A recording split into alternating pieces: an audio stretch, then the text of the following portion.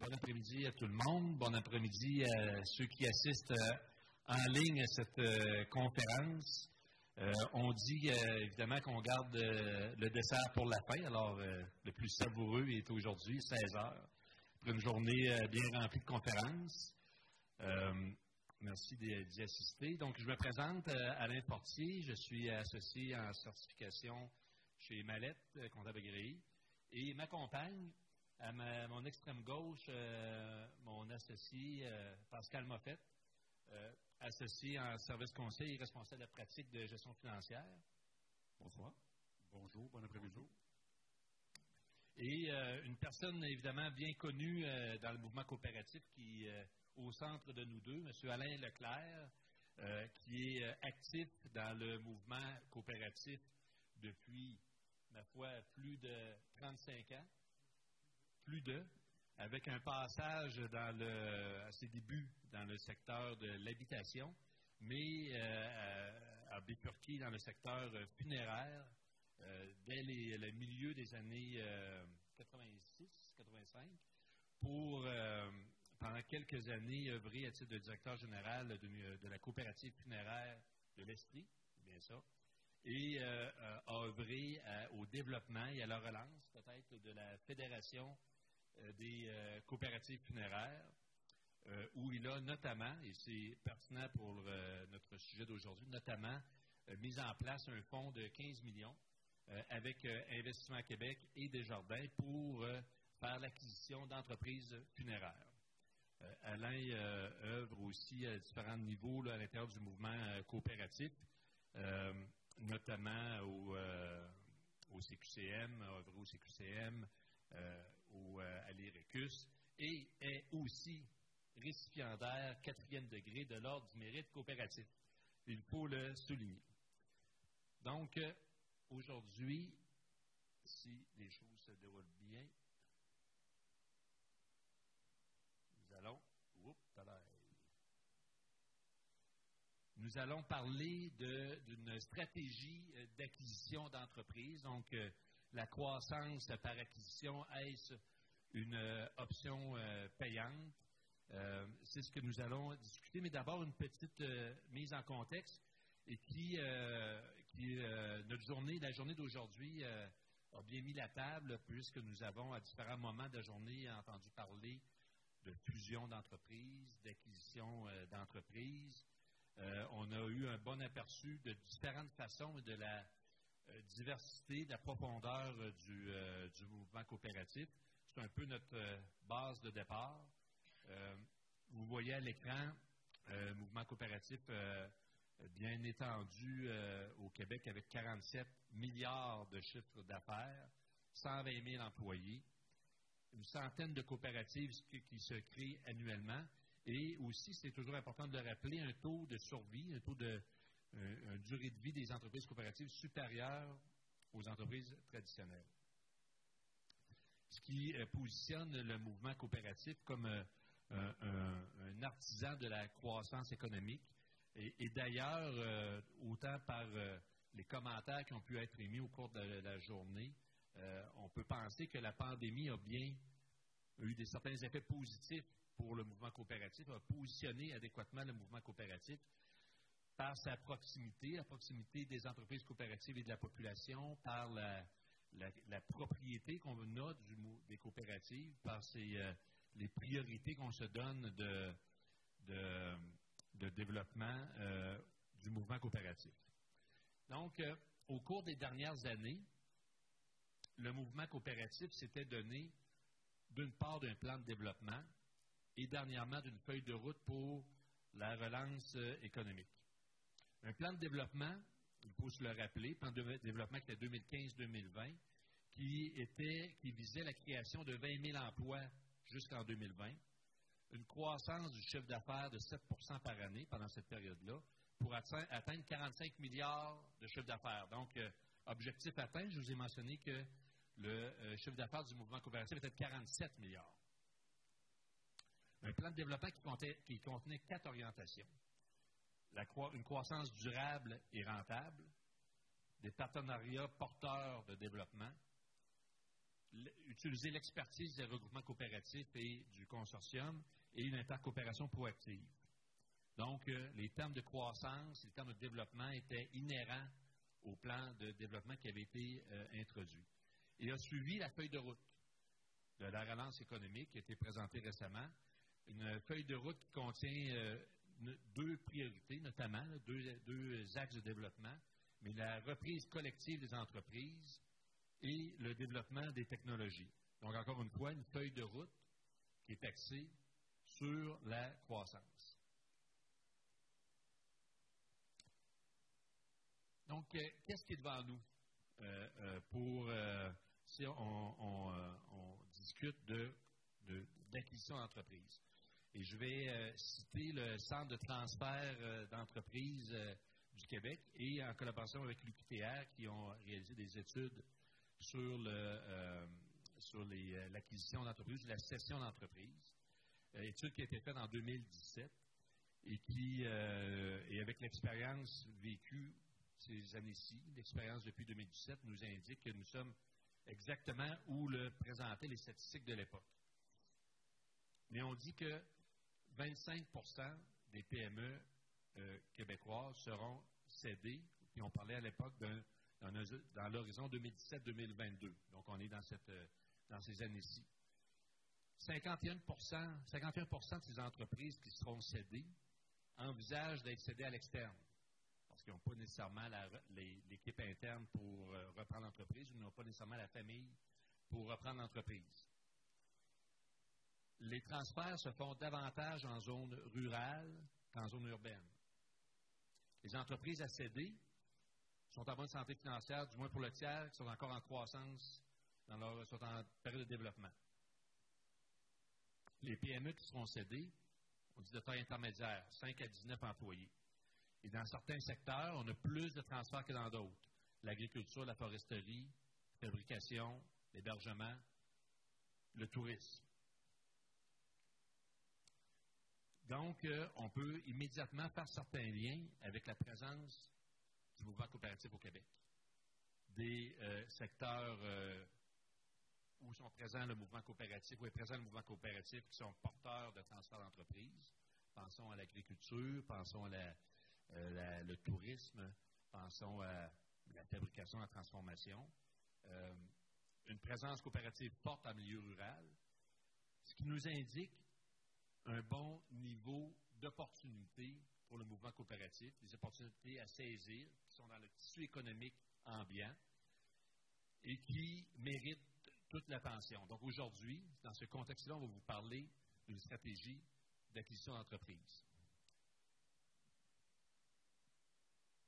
Alors, Pascal?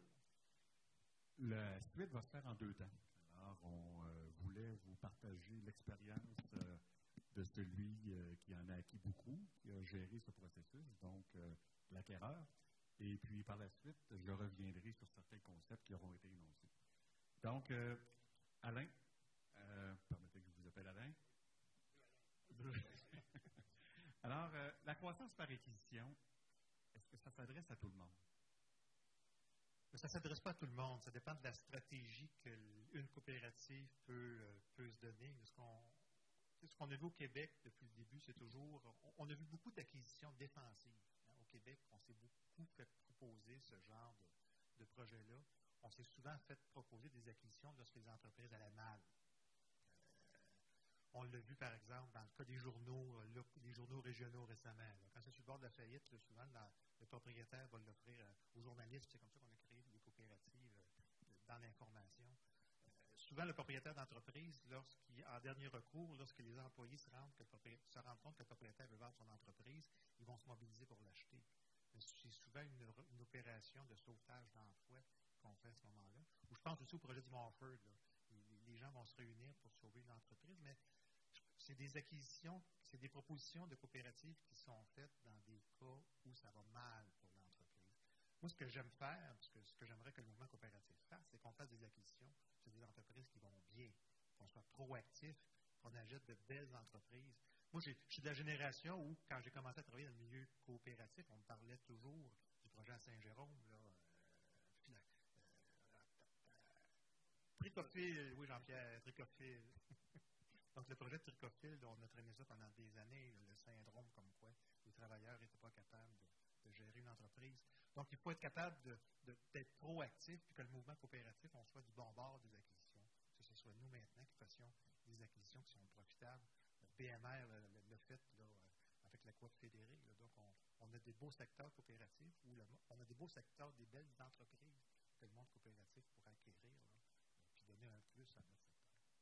Mais, je comprends donc que euh, cette initiative d'acquisition-là, si elle n'est pas réactive, devrait, devrait émaner d'un plan d'action. Effectivement. Qu'est-ce qui manque pour qu'on ait ce plan d'action-là? Puis est-ce que c'est nécessairement utile d'être en croissance ou de faire une acquisition? Il faut que ça fasse partie d'une démarche stratégique qu'une coopérative va se donner. Dans le cadre d'un plan stratégique, une coopérative peut décider de croître à partir de ses installations propres, ou elle peut décider de conquérir un nouveau territoire ou de lancer un nouveau produit. Là, elle peut décider de le faire soit par l'implantation d'un nouveau site à partir de son site existant, ou elle peut le faire en achetant le compétiteur qui a le même produit lui sur un autre territoire. Donc ça, c'est un choix stratégique qu'une organisation coopérative peut se donner.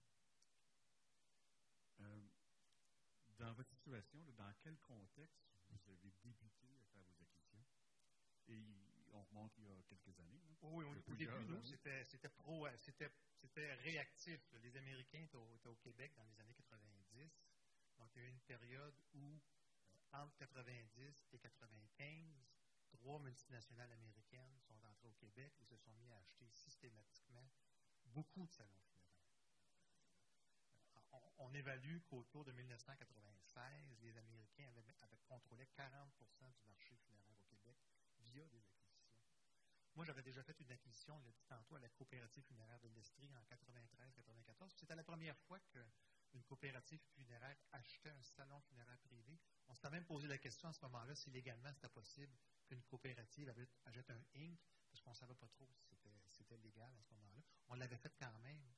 Donc, lorsque je suis arrivé à la fédération, puis que les Américains sont rentrés dans le marché, on a eu à se poser la question qu'est-ce qu'on fait dans une telle situation? Les salons funéraires privés se posaient la question parce qu'ils avaient tous peur des Américains dans leur territoire. Mais en même temps, ils se posaient toujours la question, oui, mais j'aimerais être le prochain qu'ils vont appeler parce que les prix sont bons et ils vont m'offrir une belle prime pour mon entreprise. Nous, en étant une coopérative, on n'était pas dans cette dynamique-là. La coopérative ne pouvant pas être vendue à des intérêts autres que ceux de la coopérative, forcément, pour nous, les Américains, ça devenait des compétiteurs. Mais on a vu une opportunité là-dedans assez curieusement. On s'est dit, si les salons funéraires sont à vendre au Québec en si grand nombre, si les Américains les achètent, pourquoi on ne devient pas un acheteur plutôt que subir ce qui s'en vient? C'est là qu'à travers une mobilisation, on a réussi à, profiter du sommet socio-économique de 96, pour ceux qui s'en rappellent, avec euh, Lucien Bouchard, il y avait un chantier sur l'économie sociale, il y avait des projets qui étaient, qui étaient soumis, puis on a réussi à faire une montée avec Investissement Québec, avec M. Bellin qui nous avait aidés avec la Caisse centrale des jardins, et on a réussi à mettre sur pied un fonds de 15 millions qui permettait aux coopératives funéraires d'avoir les fonds suffisants pour se lancer aussi dans la bataille des acquisitions. C'est à ce moment-là qu'on a commencé à, faire notre première acquisition euh, à Shawinigan en 96. On en a réalisé euh, une bonne douzaine entre 96 et 2000. En 2000, une des trois multinationales américaines qui étaient au Québec a fait faillite et ça a mis fin au processus, à la course folle que ces entreprises-là avaient entamée pour acheter le plus de salons possible.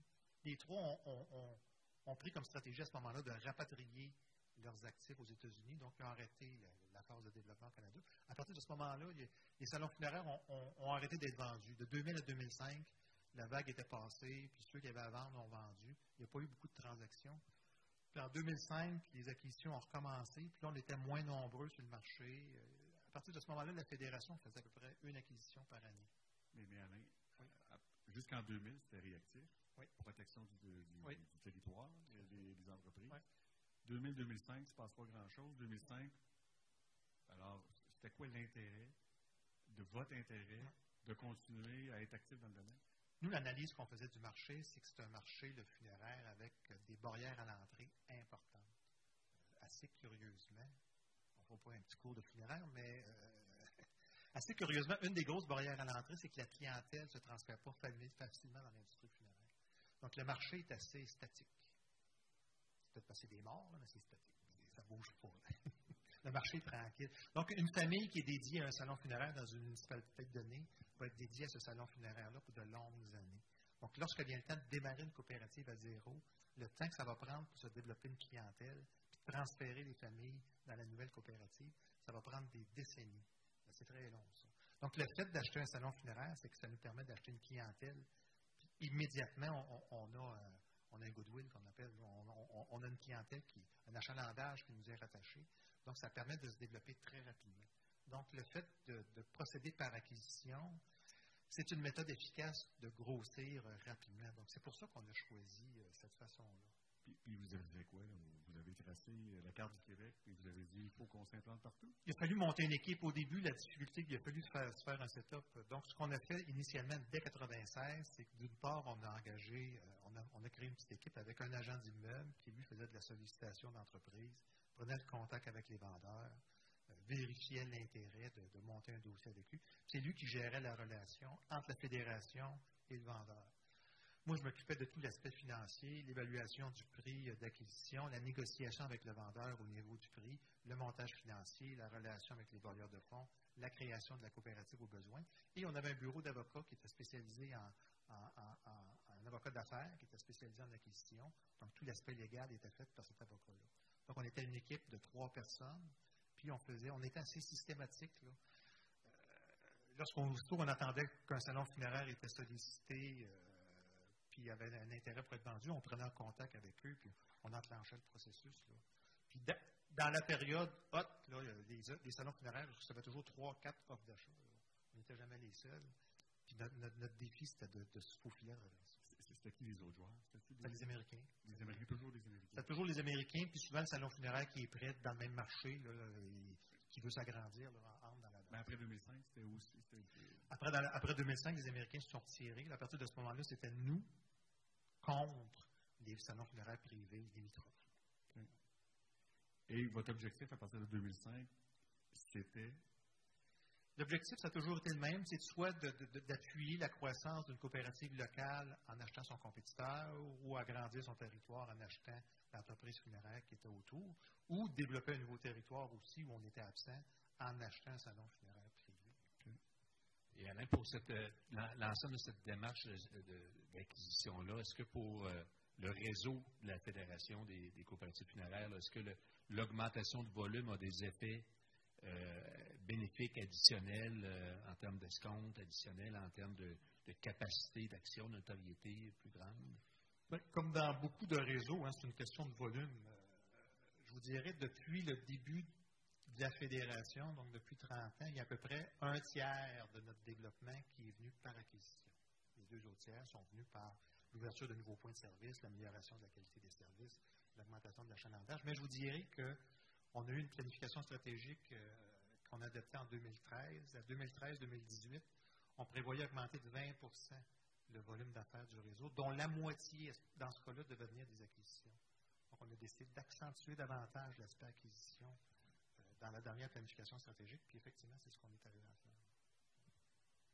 Et euh, parler d'une planification stratégique de 2013, est-ce que c'est là où votre orientation euh, au Québec ou à l'extérieur du Québec a pris? Dans une planification stratégique, on essaie toujours d'identifier qu'est-ce qui fait notre différenciation, hein, qu'est-ce qui fait notre avantage concurrentiel sur les autres. Donc, on avait réussi à développer une stratégie d'acquisition dans les 20 dernières années où, où on pouvait se démarquer de la concurrence une fois qu'on s'est rendu compte qu'on pouvait le faire au Québec, on avait fait une tentative de développer des coopératives funéraires à l'extérieur du Québec de 2000 à 2005. Le programme, il y avait un programme au fédéral. On avait engagé quelqu'un là-dessus. On avait essayé de démarrer des coopératives à partir de rien, comme on le fait habituellement, la façon traditionnelle. Donc, on avait fait le tour du Canada. On avait une dizaine de projets euh, d'est en ouest, de Vancouver à Saint John's, à Halifax, où on mettait des groupes de citoyens ensemble, puis on allait leur présenter ce qu'était la formule coopérative on disait aux gens, mais formez un comité de citoyens, puis on va partir avec vous autres, puis cherchez-vous un local, puis on va démarrer une coopérative. De cette démarche-là, il y en a une qui a démarré à Ottawa.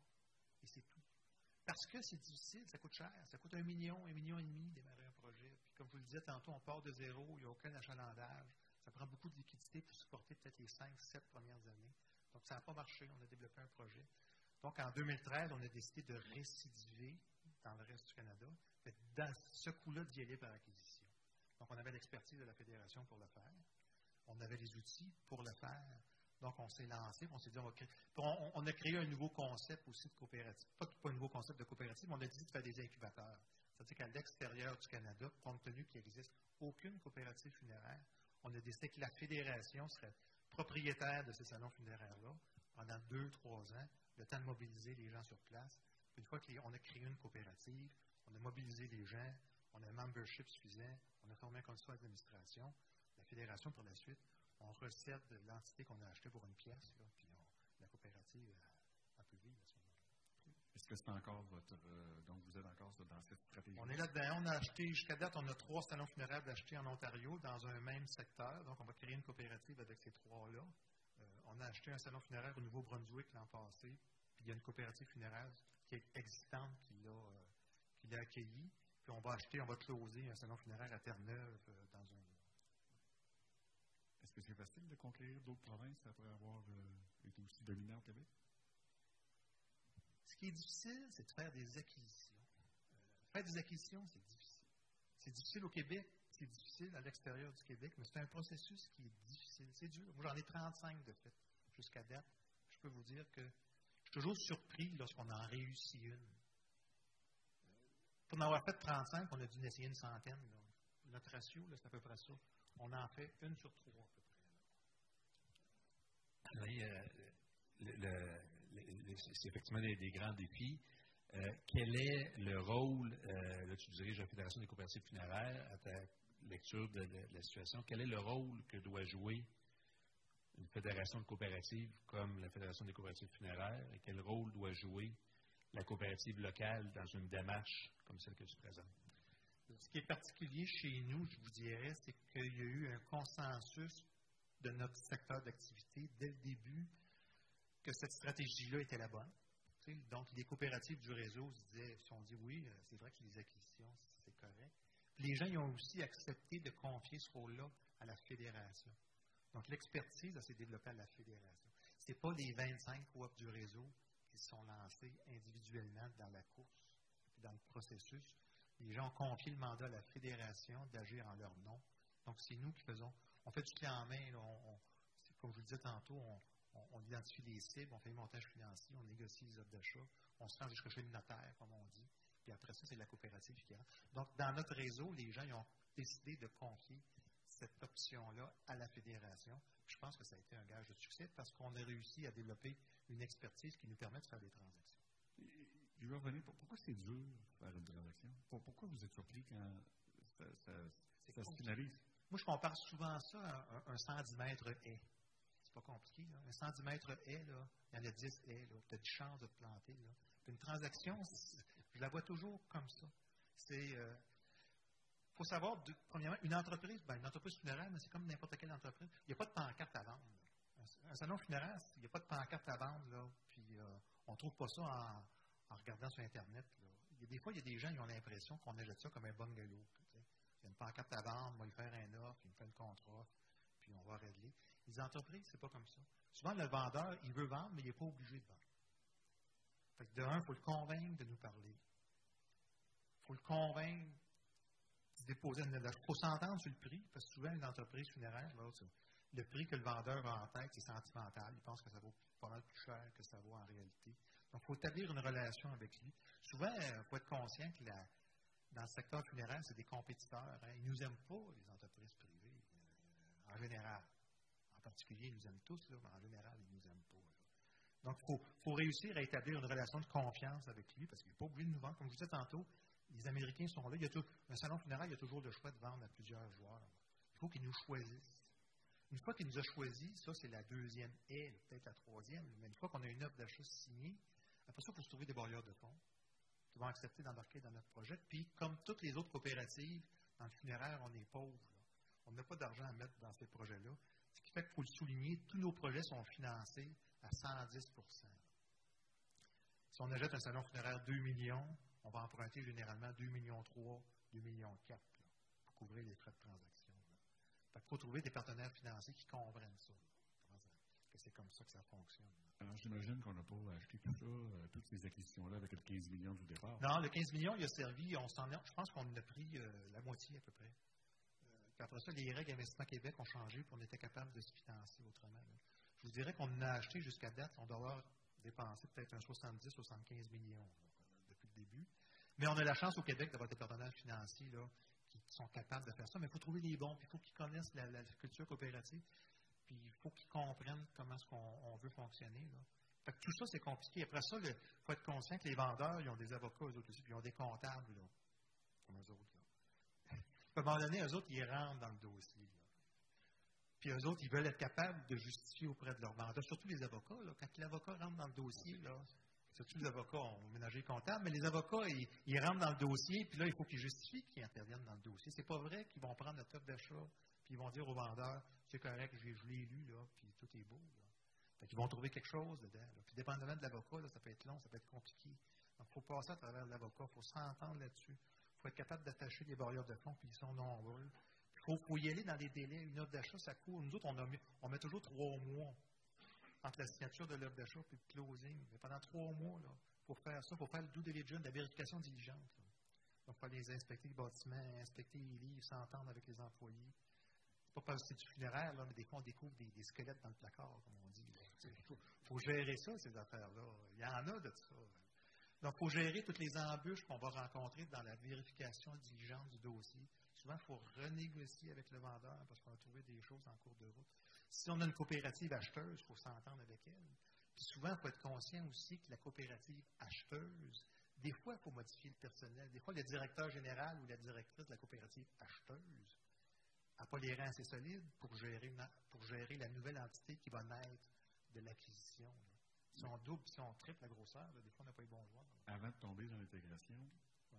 ça s'évalue comment, ça, une entreprise en funéraire? D'autres, il y a des règles du pouce, là, comme dans tous les secteurs d'activité. Au téléphone, là, quand je parle avec un vendeur, après une demi-heure, je ne sais pas mal combien vaut, mais ça, c'est les règles du pouce. Mais la vraie méthode, c'est une vraie méthode d'évaluation. Toi, tu fais ça, tu es évaluateur. Je ne peux pas vous dire que c'est facile. C'est dur de faire ça. C'est dur. ça, ça, prend du temps. Non, mais c'est vrai. Il y a des, dans le fond, nous, la, la, la vraie méthode, c'est la capacité de rembourser de l'entreprise. Comme je vous disais tantôt, compte tenu qu'on fait, ne fait pas de mise de fonds, ça veut dire que l'entreprise qu'on agite, il faut qu'elle dégage des bénéfices suffisants pour rembourser sa propre dette qu'on va lui mettre sur le dos. Là. Plus un intérêt, même. Plus un intérêt. On appelle ça du leverage buyout. C'est-à-dire que l'entreprise, qu'on paye 2 millions, on va donner 2 millions aux vendeurs. De 2 millions qu'on donne aux vendeurs, on prend une hypothèque qu'on remet sur sa propre compagnie, puis il faut qu'elle soit capable de générer des bénéfices suffisants pour rembourser sa propre dette. Donc, ça prend un financement flexible pour aller ça.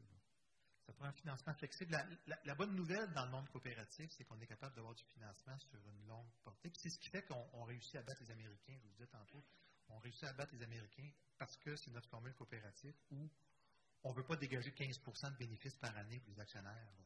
Donc, on est capable de tout mettre sa dette. Là. Du moment qu'on rembourse, nous autres, les, le financement, là, on n'a pas besoin de générer des gros, gros profits pour les actionnaires. Puis l'autre chose, c'est que l'entreprise qu'on achète, on la sort du marché pour l'éternité. mais, mais, mais, mais, Alain, euh, quand on achète une entreprise, il y a des coûts d'acquisition, ouais. il y a des coûts d'intégration, des fois la profitabilité l'année 1, après la, euh, ça ne va pas aussi bien ouais. que l'autre année d'avant, changement de personnel, intégration de culture, on, comme vous dites, on tombé dans l'intégration après, mais comment on rentre ça dans le modèle? On en tient compte ou on n'en tient pas compte? On en tient compte. Euh, avec l'expérience, on se rend compte qu'une fois qu'on a acheté l'entreprise, bon, le, fait de faire d'une acquisition, le bel avantage, c'est qu'on a une historique. Les plans d'affaires sont basés sur quelque chose d'existant. Ce qu'on observe quand on prend une entreprise privée et qu'on la transforme en coopérative, nous, en tout cas, dans le secteur funéraire, on voit comme deux, euh, deux phénomènes. Le premier phénomène qui est intéressant pour nous autres, ça c'est un plus. Dans le monde coopératif, il n'y a pas de noir. Le fait. Dans les entreprises privées, ils disent qu'ils n'en font pas, là. Mais il y a toujours. Euh, c'est toujours curieux quand on fait le due diligence des dépenses, qu'on veut passer des frigidaires, le fait, bon, donc, ça, on, c'est un plus pour nous autres. Ce qui est un moins pour nous autres, dans le secteur funéraire, nous, on ne donne pas de commission aux employés, puis on ne marche pas sous pression au niveau de la vente. Dans le secteur privé, il marche beaucoup avec ça. Ce qui fait que lorsqu'on coopérativise une entreprise privée, des fois, la moyenne de revenus va baisser parce qu'on va moins de pression sur les employés pour qu'ils fassent des grosses ventes. Les employés vont faire moins de pression sur la clientèle parce que ça rentre dans notre esprit que les biens et services qu'on va vendre à la clientèle, c'est ce qu'ils ont besoin sans plus. Donc ça, ça va faire en sorte qu'on va vendre moins de superflu à la clientèle. Donc nos revenus vont être un petit peu moins élevés que l'ancien propriétaire, mais par contre, nos dépenses aussi vont être moins élevées. Donc ça, il faut en tenir compte. Donc, Alain, si on, euh, avant de passer l'élaboration d'une stratégie d'ensemble, euh, euh, tu parles de certaines difficultés. Là, si on résumait, quels sont les, défis particuliers lorsque l'acheteur est une coopérative ou le mouvement coopératif versus une entreprise privée face au vendeur qui est devant vous lorsque la transaction se produit? Une des premières choses qu'il faut établir dans la négociation par rapport au vendeur, c'est est-ce qu'il va rester ou il ne restera pas. Des fois, on a besoin qu'il reste, et des fois, on a besoin qu'il s'en aille. Si on ajoute un salon funéraire dans un marché où il y a déjà une coopérative funéraire, le vendeur, on n'en a pas besoin. Donc, il faut qu'il quitte. Puis pour nous autres, c'est une économie. On n'en a plus besoin du vendeur. Euh, on a déjà essayé l'expérience de conserver les vendeurs. Ça a toujours été difficile pour nous autres de réussir ça. Parce qu'il faut être conscient que souvent le vendeur, il vend son entreprise parce qu'il est tanné. Il veut s'en aller chez Il est tanné de la pression, il est tanné de tout. Il veut avoir plus de temps libre. Donc, si on l'achète, on y met 2 millions dans ses poches, après ça, on lui dit Tu vas être notre nouveau directeur général, mais il y a 2 millions de dettes qu'on vient de rajouter sur ton entreprise. Donc, il faut que tu travailles encore plus fort que quand tu l'avais. en plus, on lui rajoute un conseil d'administration, ça, ils ne disent pas. On lui rajoute un conseil d'administration. C'est des bénévoles qui viennent de la communauté. C'est le monsieur qui est rencontré au dépanneur, là, tout d'un coup, qui est rendu son boss qui va lui dire quoi faire. Les messieurs, ils ne tortent pas, ça ne marche pas. Donc, la structure coopérative, là, elle pose un certain défi aux yeux du vendeur. Disons-le comme ça, oui. Et la crédibilité de l'acheteur coopératif, est-ce que c'est un enjeu? Oui, oui, quand je dis que c'est difficile, là, moi je pense que le premier enjeu, c'est pour ça que le monde, ben, c'est pour ça que le monde coopératif, on n'en fait pas. C'est une des difficultés qu'on a lorsqu'on rencontre un vendeur pour la première fois qu'on le rencontre avec son comptable, c'est qu'il faut établir notre crédibilité comme coopérative, comme acheteur potentiel. Le monde coopératif, on n'a peut-être pas une bonne réputation à ce titre-là, mais quand tu rencontres le vendeur, tu sais, le comptable, il va te poser la première question, bon, allez-vous acheter nos actifs ou nos actions? Mais si tu n'es pas capable de répondre à cette première question-là, euh, ton choix est mort, fini. Il va dire, là, c'est des clowns, on ne vend pas à ces gens-là. Donc, il faut établir la crédibilité. Moi, j'ai réussi à le faire parce que j'avais l'avantage d'être dans le funéraire. Je me rappelle des premières transactions, tu vas dîner avec le vendeur, puis là, il, te parle de ses problèmes de four. Tu dis, ah oui, ton four, euh, c'est un tréquin. Ah, les tréquins, ils ont tel problème, puis tu n'as pas essayé telle affaire.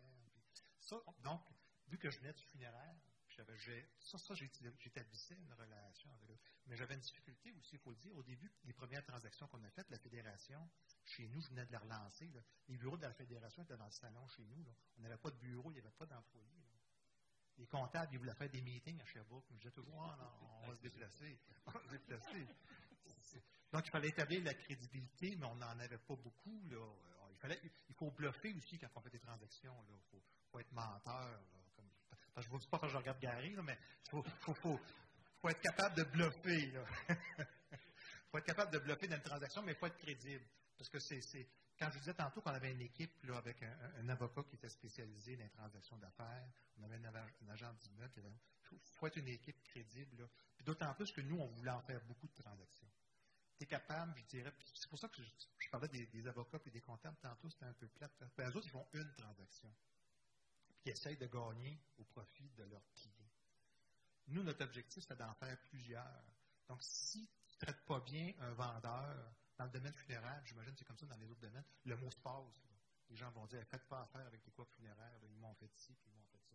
Nous, c'était le contraire qu'on voulait faire. On voulait que la, réputation là, soit favorable, puis que les gens se passent le mot. Puis c'est ça qui est arrivé. Les gens disent oui, OK, vous pouvez lui faire confiance, là, puis euh, ça, ça fonctionne. Donc, défis, euh, défis financiers, défis de structure, défis de, de crédibilité. Donc, il y, a une, réflexion importante à faire avant de se lancer dans un processus euh, d'acquisition. Euh, Pascal, si on, discute d'une comment mettre en place pour un groupe d'entreprises, pour une fédération de coopératives, pour une coopérative comme telle, comment mettre en place une stratégie d'acquisition d'entreprise? Où ça se positionne, ça? C'est rendu à moi? C'est rendu à toi. Alors, euh, alors euh, écoutez, euh, Alain, euh, bravo, premièrement. Euh, là, on va passer à l'aspect un peu plus euh, théorique de la chose, mais qui est basé sur du pratique. Et euh, ce qu'on a entendu, ben, c'est exactement ce qu'il faut faire. Alors, euh, euh, euh, écoutez, un- une stratégie d'acquisition, puis j'ai plusieurs de mes clients euh, très actifs dans les acquisitions, mais qui veulent faire une acquisition. Quand je leur dis pourquoi tu veux acquérir, ben, la réponse vient tardivement. Ils ne le savent pas. Alors, faire une acquisition, ce n'est pas euh, une chose qui est excitante plus qu'une autre. Oui, c'est excitant, mais il faut que ça soit excitant pour les bonnes raisons. Alors, il faut que ça vienne d'un plan d'affaires et c'est une des options de croissance.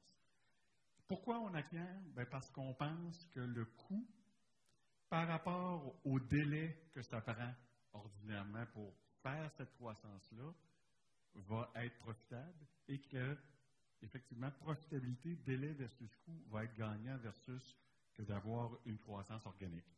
J'en parlais Alain, Alain tantôt sur le développement euh, d'un salon versus l'acquisition. Donc, dans ce cas-là, c'est une évidence. Donc, l'objectif d'acquisition, il y en a des multiples. Que ce soit pour protection, que ce soit pour acquérir des employés, que ce soit pour acquérir une technologie, nommez-les. Les- il faut que ça corresponde à un objectif d'affaires qui va nous rendre meilleurs.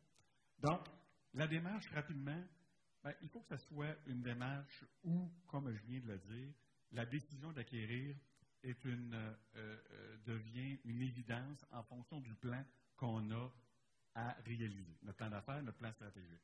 Alors, on s'en va par là, on a choisi de faire de la croissance et on choisit en partie ou en totalité d'y aller par acquisition parce que ça fait du sens. Et il faut que l'acquisition renforce notre avantage compétitif. Comment on s'assure que ça renforce notre avantage compétitif? Bien, on s'auto-analyse. Alors, qui sommes-nous en tant qu'acquéreur potentiel ou en tant qu'entreprise qui doit faire la croissance? Force, faiblesse, opportunité, menace. C'est tous des beaux mots, mais c'est vrai. Alors, qu'est-ce que je veux pallier comme faiblesse? Qu'est-ce que je veux augmenter comme force? Qu'est-ce qui se passe dans le marché dont je peux profiter comme opportunité? Quelle est la menace que je dois contrer? Alors, le but, c'est mieux se connaître pour mieux acquérir. Alors, si je me connais bien, je vais venir chercher quelqu'un, une entreprise, qui va se coller à moi. Un plus un va faire trois. Alors, c'est ça euh, qu'il faut faire. Alors, ce n'est pas théorique, c'est très pratique. Et après ça, ben, on dit, c'est qui ma, ma cible? Alors, il faut la déterminer. C'est une entreprise en redressement? Est-ce que c'est une entreprise qui fait partie d'un certain secteur? Est-ce que je cherche une profitabilité? C'est quoi le retour sur investissement que je veux? On pense à ça avant même de prendre le téléphone. Alors, je vais, est-ce que je veux avoir une participation minoritaire ou je veux avoir le plein contrôle? Ça va être quoi ma structure d'acquisition? On pense à ça.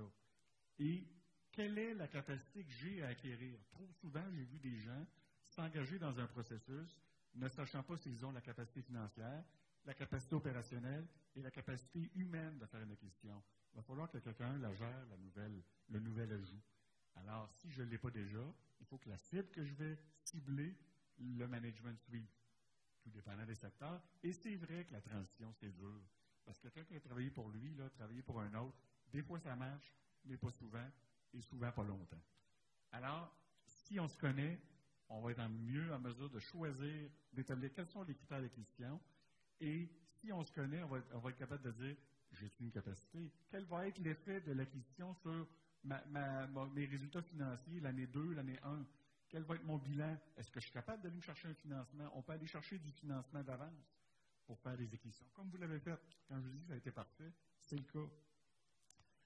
Ensuite de ça, on recherche. On ne recherche pas n'importe quoi. Je reçois trop souvent des appels de gens qui me disent Pascal, tu vas passer quelque chose, tu me le diras.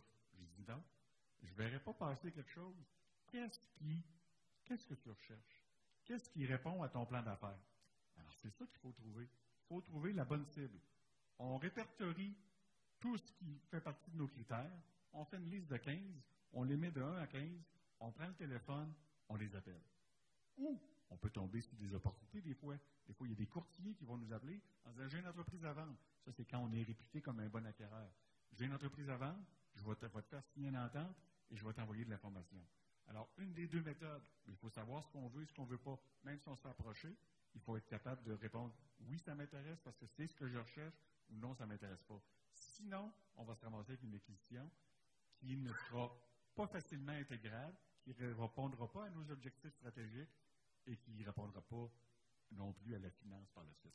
Pascal, la démarche que tu présentes, euh, euh, on fait souvent allusion à une entreprise qui vient euh, augmenter un, point de service additionnel, qui vient augmenter notre, notre réseau d'entreprises, mais est-ce que l'acquisition d'un fournisseur pour une intégration verticale se positionne dans la même démarche d'acquisition d'entreprise? Tout à fait. Dans ton, dans, quand je parlais de force faiblesse, opportunité menace, on peut, par exemple, en ce moment, tout le monde a des, difficultés d'approvisionnement. C'est un problème mondial. Toutes les entreprises qui s'approvisionnent ont des problèmes. Alors, une stratégie en ce moment pourrait être de, si on pense que ça va perdurer, ça pourrait être de dire, ben, alors je vais vouloir m'assurer de l'approvisionnement de, euh, de mon entreprise et pour ça, ben, je vais sécuriser cet aspect-là. Alors, tout à fait, que ce soit géographique, en produits supplémentaires ou euh, euh, un fournisseur sécuriser l'approvisionnement, c'est la même démarche. Et c'est d'ailleurs, Alain Leclerc, c'est d'ailleurs une, une, des stratégies que vous avez employées de procéder à une certaine intégration verticale à l'intérieur de votre réseau. Oui, nous, il y a quelques années, il y avait un distributeur de cercueils qui faisait affaire avec l'ensemble des coopératives, qui était apprécié de notre réseau, c'était notre, notre, distributeur, je dirais, préféré, mais il était menacé de perdre, sa route, là, parce que son, un, de ses, fournisseurs euh, Donc, on est devenu actionnaire minoritaire dans cette entreprise-là. Puis, on a réussi à maximiser ses routes. Puis, euh, avec la coopération des, coopératives, on, a réussi à faire des économies importantes, ce qui fait qu'à chaque année, il y a de bonnes ristournes qui sont retournées euh, dans l'ensemble des coopératives parce qu'on contrôle maintenant notre distributeur qui, fait sa, qui run. Puis, on y a rajouté d'autres produits qu'on livre dans les coopératives. Maintenant, on sait qu'on a un point de contact avec chaque coopérative aux deux semaines. Donc, on essaye d'en profiter au maximum. Ça a été une belle opération. Donc, une décision quand même très stratégique dans le cadre de votre réseau qui, est un autre type d'acquisition euh, d'entreprise. Ça aurait pu te répondre à une opportunité ou une menace. Ça aurait pu être ça. Alors, euh, on prend le téléphone, on appelle des vrais gens, on les rencontre, et c'est à ce moment-là qu'on débute notre analyse. Que j'ai un avec cette entreprise-là? Est-ce qu'on pense que nos deux entreprises vont être capables de cohabiter? Et là, on, débute notre plan d'intégration et on débute notre due diligence. Même avant d'avoir fait une lettre d'intention, on débute, est-ce que c'est la bonne cible? On va manger avec les gens, on jase avec les gens. Les gens sont fiers de discuter et ils vont vouloir parler parce qu'ils ont monté cette entreprise-là. Alors, c'est facile de faire parler les gens dans un processus et on a une bonne jasette. Et en sortant du dîner ou de la rencontre, on a une bonne idée de si c'est intéressant ou pas. À la fin, quand la confiance est établie, je vais t'envoyer une entente de confidentialité, puis tu m'enverras quelques chiffres, afin que je puisse faire quoi? Ben, je puisse te faire une offre et je puisse te faire un prix. Donc, déjà là, on commence au plan d'intégration, on pense au plan d'intégration, on pense au financement, on pense, je vais s'acheter les actifs et les actions. On a déjà tout ça, là, parce qu'on a notre structure auquel on veut répondre aussi. Alors, on a notre idée, puis on module notre idée en fonction de la rencontre qu'on vient d'avoir. On établit la valeur, j'en parlerai tout à l'heure, on a parlé Alain tantôt. Alors, la valeur, ce qu'on va regarder aussi, c'est la capacité que nous avons à faire de l'argent. On va se baser sur ce que le vendeur a fait pour faire de l'argent, mais on va regarder ce que nous, on va en faire. Et on va regarder si cette valeur-là est transférable. On parle souvent d'achalandage personnel. Alors, est-ce que cette valeur-là est transférable, oui ou non? Et on revient toujours à notre structure de transaction. Alors, la forme de l'actif-action, la forme de ce qu'il y a dedans, immeuble à part, on loue l'immeuble, etc., va influencer la proposition qu'on va faire. Ensuite de ça, rapidement, on négocie et on fait notre revue diligente. Et euh, revue diligente, vous, le savez, opérationnelle, environnementale, financière, on regarde la rentabilité passée, on regarde les projections financières, on regarde si la rentabilité est pérenne et est-ce que la rentabilité qui nous est euh, présentée, est-ce que c'est la bonne, est-ce que ça va être celle qui va durer dans le temps? On regarde la qualité des actifs qu'on achète. Alors, on s'assure qu'il n'y a pas de, passifs financiers qui ne sont pas au livre. Alors, souvenez-vous, la revue diligente, qu'elle soit financière, fiscale ou, autre, euh, opérationnelle, on analyse tout de suite pour éviter de trouver des surprises post-acquisition. quand on découvre des surprises post-acquisition, on a mal fait notre job avant. Alors, puis notre revue diligente va nous servir à mieux négocier par la suite. Clôture, on passe rapidement. J'aurais le goût pour le plan d'intégration de, de, me retourner vers Alain et de dire euh, Alain, comment ça s'intègre une entreprise? C'est ça. Nous, on, je vous disais tantôt qu'on fait toutes les démarches légales, tout, tout, ce cheminement qu'on vient de faire là, on le fait euh, on le fait comme mandataire de la coopérative jusqu'à temps qu'on passe chez le notaire. À partir du moment où on passe chez le notaire, là, on tombe dans les opérations Donc, c'est la coopérative locale qui embarque. Mais nous, on signe des, ententes de service. Au début, c'était les bailleurs de fonds qui nous obligeaient à le faire. Ça a été une, ça a été une bonne idée, ça. Donc, la, fédération, on a l'obligation d'accompagner cette coopérative-là, au moins pour les 12 premiers mois. on est très présent les 12 premiers mois. On, signe une entente avec la coopérative. On est là pour régler tous les problèmes qui peuvent survenir. Donc, après 12 mois, la coopérative n'a pas le choix. C'est, souvent Investissement Québec, dans les premiers temps, qui l'imposait. Puis après 12 mois, la coopérative a la possibilité de nous garder pour un 12 mois suivant. Parce qu'une année, ça va assez vite. Puis je dirais une fois sur deux, la coopérative, parce qu'après 12 mois, on dit, mais voici ce qu'on a fait comme accompagnement, voici ce qui vous restera à faire dans les 12 prochains mois. Vous avez le choix de le faire tout seul ou de nous conserver. une fois sur deux, la coop nous conserve. Ce qui fait qu'un processus d'acquisition, je vous dirais, c'est au moins un an et demi du début à la fin. Ça va facilement jusqu'à deux ans et demi. à partir du moment où on a parlé au vendeur, jusqu'à temps que la coopérative ait pleinement intégrée. Puis tout ça, c'est la, partie de la fédération. Mais pour la coopérative, c'est un 2 à 5 ans complet pour que la coopérative ait pleinement intégré cette nouvelle entreprise. Donc, tout comme le processus, l'intégration, ça se planifie, ça se calcule, ça se mesure, et il n'y a pas une façon de le faire, mais euh, il faut le faire de façon structurée et suivie. Euh, je parlerai brièvement de valeur d'entreprise. je ne passerai pas à travers toutes ces cases-là. Il y a trois types d'évaluation d'entreprise. On peut regarder les actifs et les passifs d'une entreprise. Ça exclut l'achalandage. Ensuite de ça, selon le, calcul selon le rendement va évaluer si la valeur du rendement est supérieure à la valeur des actifs nets d'entreprise. Donc, est-ce qu'il y a achalandage? On peut se baser sur les flux passés ou les flux futurs. Idéalement, on va se baser sur les flux futurs, on va faire nos projections financières qu'on va actualiser et c'est ça qui va nous donner le prix, le prix qu'on va être prêt à payer. Donc, il faut payer. Le prix qu'on va être prêt à payer, on le fait au moment de la lettre d'intention, juste avant, quand on a reçu l'information, après avoir signé une entente de, confidentialité. Mais après avoir fait la revue diligente, on va reviser notre prix, on va s'assurer qu'il est toujours bon. Parce qu'on a été, fouillé dans, les livres du vendeur et on s'assure que ce qu'on avait comme hypothèse de base, c'est toujours la bonne. Et puis, il y a la méthode du marché. Eh bien, la méthode du marché, on peut se baser sur des entreprises comparables il y a souvent des règles du pouce, ça rentre un peu là-dedans, mais combien c'est vendu le voisin? Ou les transactions sur le marché, c'est souvent des entreprises publiques, alors que nous, les entreprises publiques, c'est pas beaucoup utile pour des PME, parce que c'est beaucoup plus gros, et on ne peut pas comparer une entreprise publique à une PME. Les entreprises comparables, justement, euh, j'essayais de vous, euh, figurer ça, c'est-à-dire de, de, vous le démontrer euh, via un exemple. Alors, combien ça vaut un corbillard noir? Alors, ça vaut. Euh, je me suis assuré là, que tantôt, j'ai dit, je suis dans le prix ou pas? Ben, tu es pas mal. Euh, pas mal au début du, au début du, coup. Ça peut être plus cher que ça. Donc, 90 000 corbillard noir. Mais c'est pas vrai, parce que, ce que le corbillard noir qu'on voit là vaut aussi 90 000 Mais dans ce cas-là, ça va dépendre de son année. Ça va dépendre de son village. Ça va dépendre de euh, s'il est endetté. ça va dépendre des réparations qu'il a à faire. Ça va dépendre s'il y a 100 000 dans le coffre ou s'il n'y a pas 100 000 dans le coffre. Alors, pour une entreprise, c'est la même chose. On ne peut pas dire qu'une entreprise vaut quatre fois le BAYA, 10 000 la, funéraille, 1 million le permis, euh, peu importe votre domaine, tant de piastres le quota, euh, une fois les ventes. Oui, il y a des règles, mais ce qu'on fait, c'est qu'on les analyse et on vient les comparer avec une méthode qui va être basée sur le rendement, auquel on va actualiser nos flux monétaires dans le temps. On va faire notre job, on va faire des vrais calculs, puis on va dire, pour moi, ça vaut autant. Donc, on se sert de ça, puis quand on a deux, trois méthodes, bien, à ce moment, on les compare, puis on est capable de s'assurer qu'on a un bon prix et de satisfaire le vendeur. Mais l'humain est tellement humain qu'il veut toujours s'accrocher à une formule. Mais la formule, souvenez-vous que 10 000 pièces la funéraille, là, ben, dans le fond, ça, ça résume une rentabilité, mais es-tu plus rentable ou moins rentable que le voisin? Donc, pourquoi toi, ça ne sera pas 13 000 ou ça ne sera pas 5 000? Parce que si c'est 10 000, il y a quelqu'un qui, en moyenne, il y a quelqu'un qui a eu 5 000, l'autre 13 000.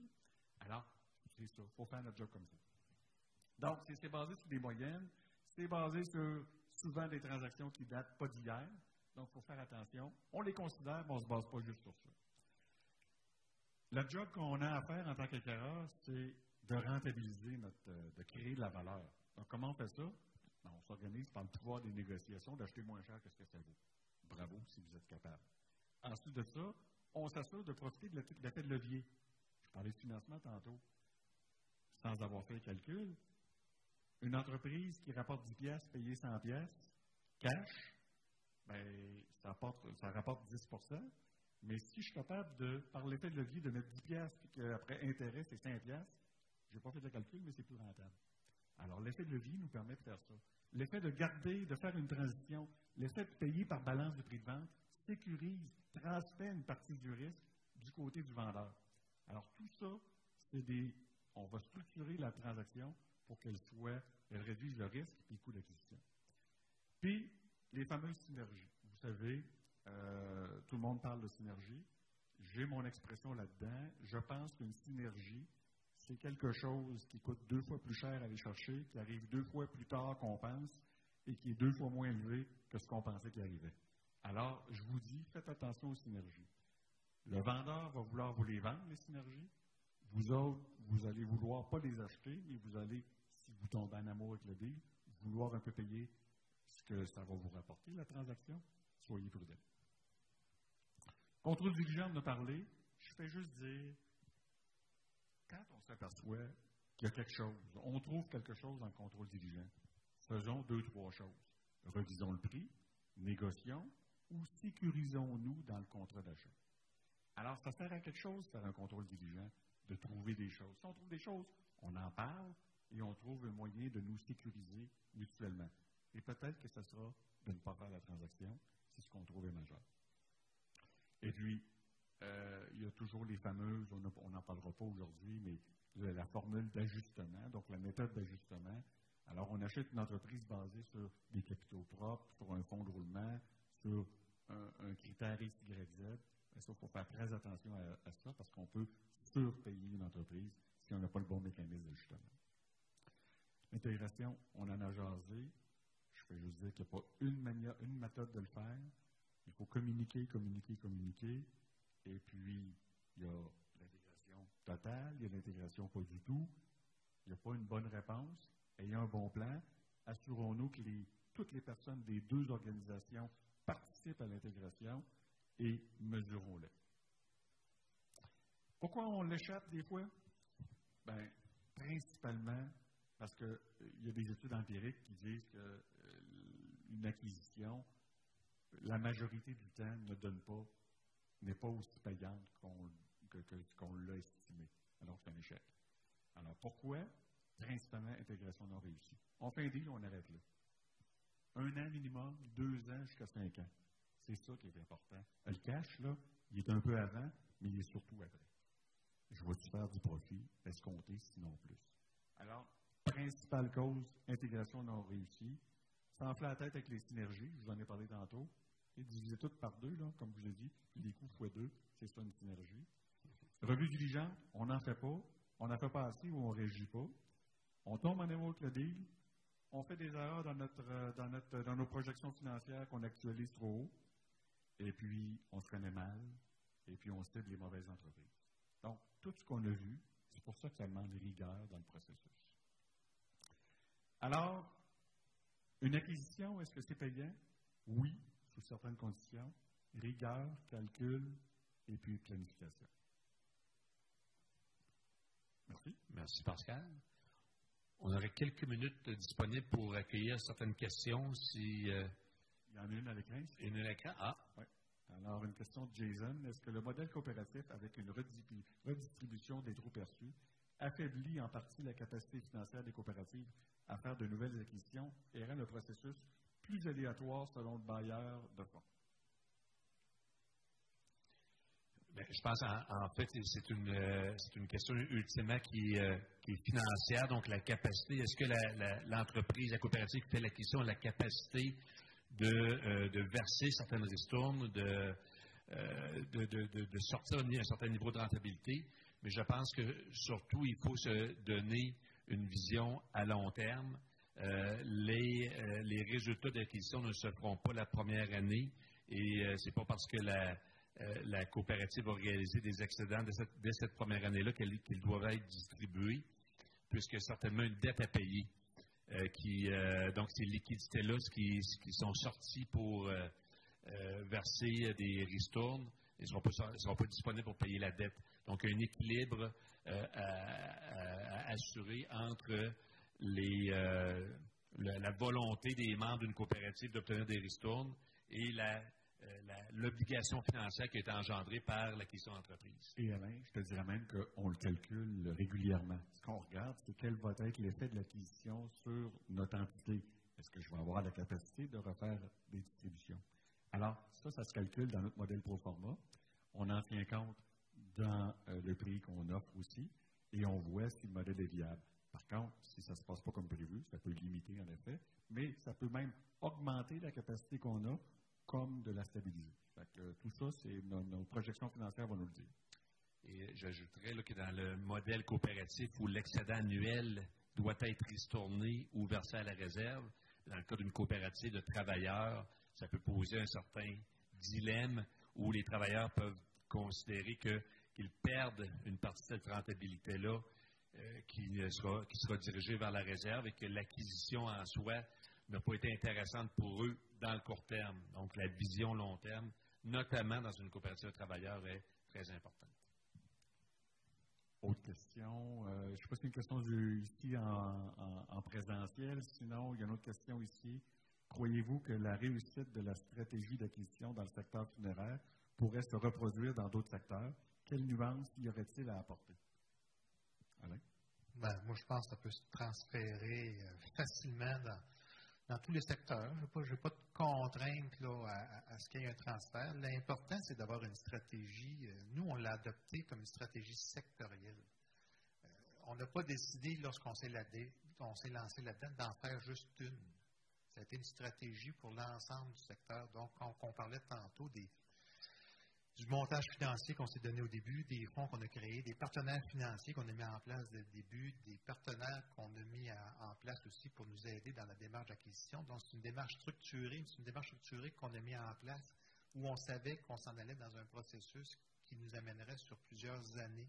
Donc, c'est quelque chose de structuré. Donc, n'importe quel secteur coopératif au Québec pourrait se donner cette démarche-là, puis prendre le temps de se préparer avant de se lancer dans, dans la course aux acquisitions. Donc, je ne verrai pas de problème à ce qu'on puisse se lancer là-dedans. Une chose que je dirais, par contre, quand on regarde le processus d'acquisition qui nous a été présenté par rapport à la formule coopérative, une des choses que je trouve difficile, dans le monde coopératif, on est versé vers ça. On a tendance, dans le monde coopératif, à, jaser de nos dossiers. Euh, on l'a vu tantôt, on signe des ententes de confidentialité lorsque vient le temps de négocier une entreprise.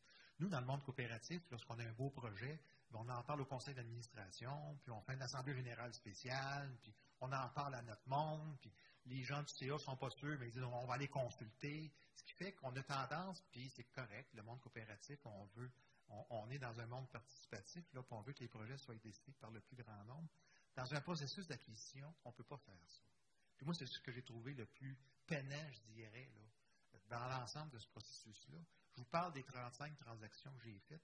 Je ne vous ai jamais parlé des 70 que je n'ai jamais fait. Puis mon président est dans la salle, là.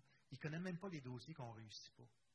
Parce qu'on n'en parle pas. On a des ententes de confidentialité. On dit toujours aux vendeurs, lorsqu'on vient dans une région, écoutez, on se parle.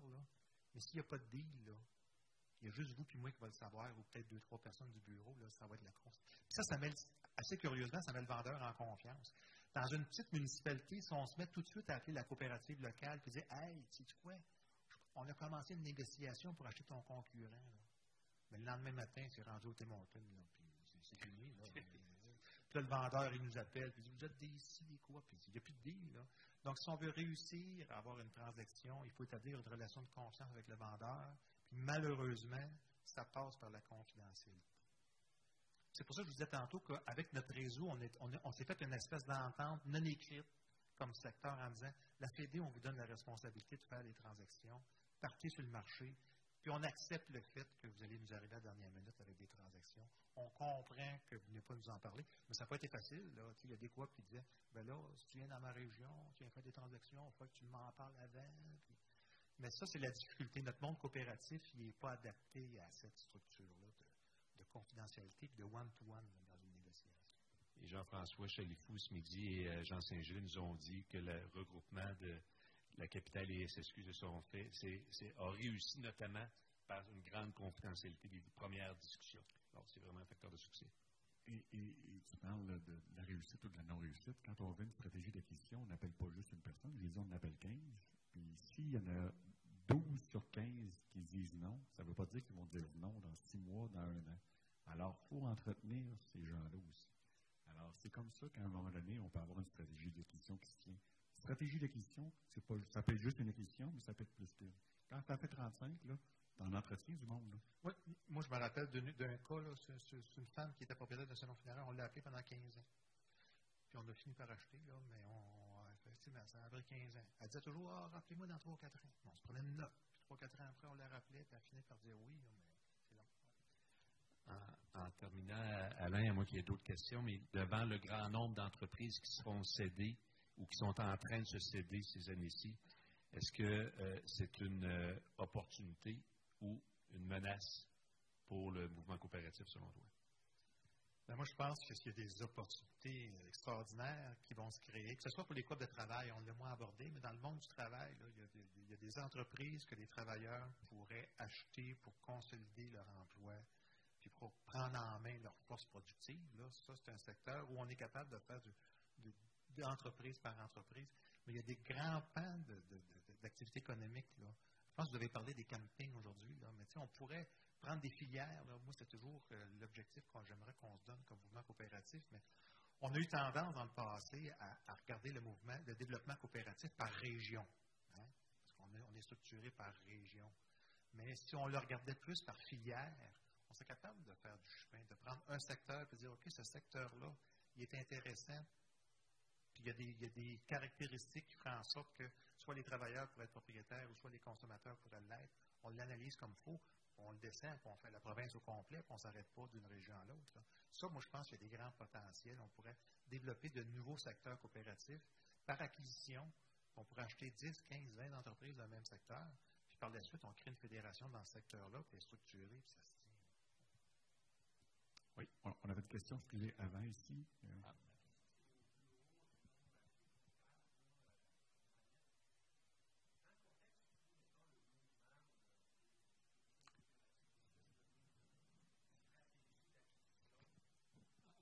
on va prendre le micro pour les gens en ligne. Oui, il y a le micro juste là, oui. Parfait. Oui. Bon, ma question, c'est, euh, bon, ça s'adresse plus euh, aux comptables, aux auditeurs en tant que tel, un bureau.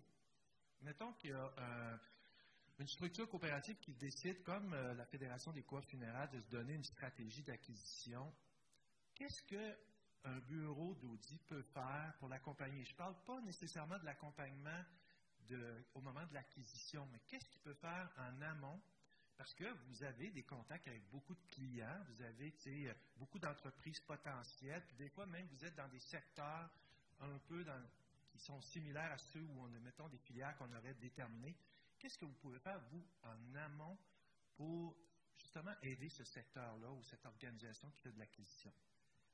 Bien, on est. Euh, quand un organisme vient nous voir, on devient le gardien du processus. C'est-à-dire qu'on regarde d'où on part et ce que j'ai compté tout à l'heure, les différentes étapes, on s'assure qu'on les réalise et on va partir de la stratégie. Est-ce que la stratégie est bien établie? On va vous accompagner à l'établir, cette stratégie-là. Alors, ensuite de ça, est-ce que vous avez l'équipe interne pour euh, faire ces acquisitions-là, pour réfléchir à quelles sont vos capacités financières, à entreprendre des discussions, alors, parce que vous autres, là, un aspect très important, c'est que vous devez garder les yeux sur la balle de vos opérations. Alors, il faut que ça continue d'aller bien si on veut faire des profits pour être capable de payer le financement que va nécessiter cette acquisition-là. Alors, on devient votre allié, votre partenaire, et on devient le gardien du processus, et on vous aide de la réflexion au ciblage, à l'analyse financière pré-acquisition de, nos capacités et ainsi de suite dans le processus d'acquisition. Donc, on est euh, euh, le gardien du processus et le chien de garde du processus et on s'assure que euh, ça va créer de la valeur pour les coop. on peut, on peut s'intégrer aussi à la structure en place chez les funéraires. Il y a, une équipe, il y a, déjà des gens qui sont dédiés à ça. Peut-être que ce n'est pas tous les secteurs qui sont couverts dans le processus d'acquisition, donc on peut s'intégrer à ça. Et aussi, il peut avoir une certaine euh, euh, facilité de contacter les entreprises ciblées euh, avec une certaine, soit indépendance, pas, indépendance, mais une certaine confidentialité plutôt. Dans le processus pour ne pas divulguer dans un premier temps qui est l'acheteur, qui serait la, coopérative ou la fédération. Donc, dans l'ensemble de la démarche, mais la clé, c'est que la, coopérative ou la fédération disent oui, j'entreprends une démarche, voici quelles sont, notre, quelles sont nos, nos, projections, nos cibles de développement, puis aidez-nous à identifier les entreprises. Évidemment, on peut piger dans les entreprises de notre propre, nos propres clients, nos propres contacts d'affaires ou en contacter, comme Pascal l'a dit, et Alain sur une base régulière pendant 15 ans. Il y avait Jean-Pierre Gérard qui avait une question en premier. Oui, euh, je voulais simplement rebondir sur ce qu'Alain avait dit sur euh, les stratégies d'acquisition. Euh, mais peut-être que l'autre pensait la même chose. Je viens de passer un an en France, puis j'ai eu l'occasion de rencontrer des, des grosses coopératives de travail, puis euh, je me faisais la réflexion qu'au Québec, en général, les coopératives, parlez de coop de travail, ne sont pas beaucoup investies dans des secteurs à forte capitalisation. Ben, j'ai compris finalement qu'en France, la présence de grosses coopératives dans ce qu'on appelle les BTP, bâtiments, travaux publics, c'est beaucoup supporté par des politiques publiques favorables. En d'autres mots, le comité public s'engage à donner 25% des contrats à des structures comme ça, ce qui est autrement plus facile pour aider leur développement et malheureusement, jusqu'à preuve du contraire, on n'a pas tout à fait des politiques publiques aussi favorables au Québec, parce que je pense que ça pourrait donner un, élan dans des secteurs à forte capitalisation, parce que veut, veut pas, quand on se compare à d'autres, il y a vraiment des secteurs où on est extrêmement sous-développé en coopération. Euh, puis je pense qu'on ne peut pas passer à côté de l'impact des politiques publiques. Donc voilà, c'était juste un commentaire éditorial. Intéressant. Il y avait une question en ligne, je ne sais pas si on vous la passer. On l'avait fait les deux, oui. Euh, en fait, Grégory Bassard du Centre de transfert d'entreprise du Québec. J'avais une question plus euh, pour M. Leclerc sur le rôle de la fédération. Euh, j'aimerais ça vous entendre un peu plus sur ce qui, a été, ce qui a été peut-être les, principaux défis pour, pour la fédération pour implanter cette culture-là d'acquisition. puis en même temps, en, complément de cette, première question-là, euh, les secteurs euh, de coopératives où il n'y aurait pas de fédération, euh, comment est-ce qu'on peut espérer relever ce défi-là de l'acquisition sans la présence de fédération? Une grande question auquel on, ne répondra peut-être pas aujourd'hui. Nous, le défi de culture, je dirais, qu'on a dû faire dans le réseau, ce n'est pas tellement une culture d'acquisition, mais c'est une culture de développement. la mentalité des coopératives funéraires pendant, je dirais, les 15 premières années, c'est-à-dire, nous, on vend nos services le moins cher possible à nos membres. Puis je me rappelle que les coopératives funéraires qui faisaient des profits, ils étaient ostracisés par les autres. Là. Ah, autres capitalistes, j'ai fait des profits. L'objectif, c'est d'arriver à zéro.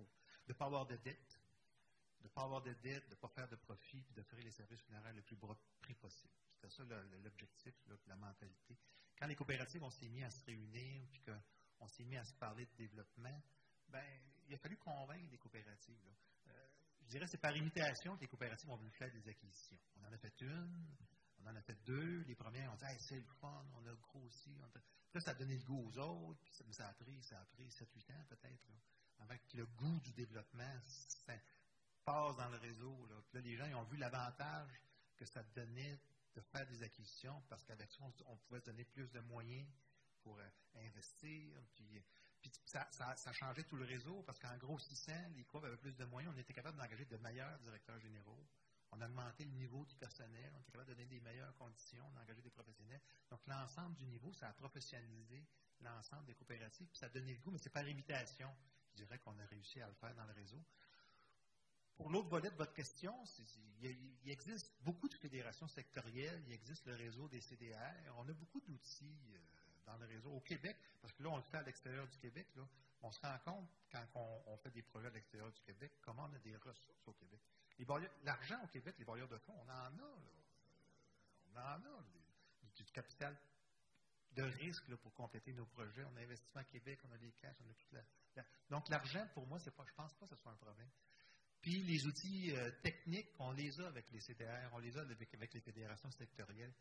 Ce que je disais au début qu'il faut faire attention, par contre, c'est qu'il ne faut pas s'improviser expert là-dedans. Il ne faut pas que tout le monde parte là, que ce soit une fédération ou une CDR, de dire on va le faire, nous autres, ça a l'air le fun, on va faire des acquisitions. on, va, ça prend une préparation, puis ça, avant de rencontrer un vendeur, il faut être sûr d'avoir la, crédibilité. Mais ça, ça se gagne, on est capable de le faire. Ça. Mais il faut, développer un plan, il faut être stratégique. Mais on, a tout ce qu'il faut au Québec pour être de faire. Alors, merci de votre intérêt, votre, votre attention, votre présence en ligne et ici en salle. Ça complète notre présentation. Bonne journée.